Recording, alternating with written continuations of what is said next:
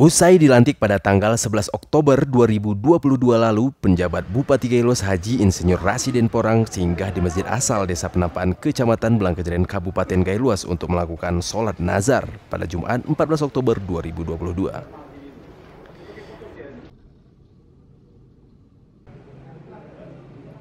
Kita patut bersyukur. Begitu ujar PJ Bupati Gailos tersebut saat ditanyai oleh awak media menerangkan niat sholat yang dilakukan Ba'da Asar tersebut. PJ Bupati Residen Porang beserta istri langsung melakukan sholat di ruang bangunan lama Masjid Asal.